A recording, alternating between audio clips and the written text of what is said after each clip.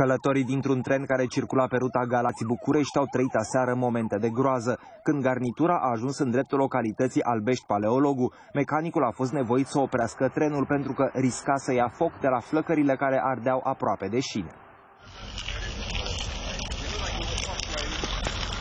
La Domșan La Topșan s-a extins un foc. De ce v-a oprit în gară?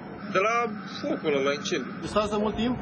De o jumătate de oră. Prima stație ne-a oprit, incendii de vegetație. Întârziem la muncă.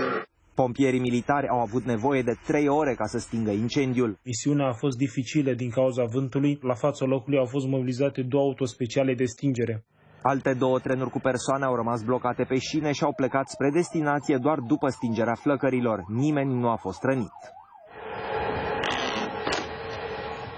A fost o noapte de foc și pentru pompierii buzoieni după ce în patru zone din județ vegetația uscată a ars pe câteva hectare. Cea mai gravă situație a fost în zona de deal unde focul a ajuns la doi pași de casele localnicilor.